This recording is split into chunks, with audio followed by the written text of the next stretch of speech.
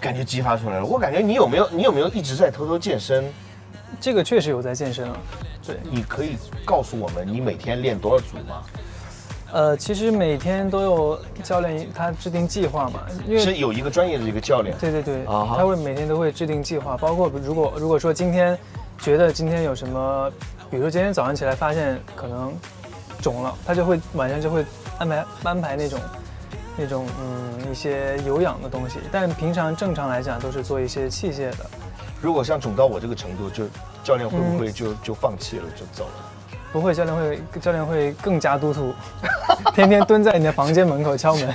再再加一个教练是吧？对对对那那你你做的是就是什么呃燃脂方面呢，还是做这个这个力量然后增肌的那种？有有先去减脂减，因为因为也也因为也是接触的，这因为也是有关到下一个项目，所以说需要瘦很多，瘦大概呃二十斤左右。是指在你现在的这个基础上，就之前再再瘦，哦之前对对，现在基础上可能再瘦一点点。再瘦一点点。对，现就所以先做了很多减脂，然后所以我就替所有的这个粉丝八卦一下，现在有没有八块腹肌？啊，那确实 因为因为减了之后还没有增，还没有还没有啊还没有增肌对对对对，现在还在哦，我。好期待有一天啊！我觉得，如果在荧幕上我们看到我们的凯凯，咔，衣服一亮，胸大肌，这个八块腹肌，旁旁边的侧腰线，就我觉得他的粉粉丝就疯掉了，是不是？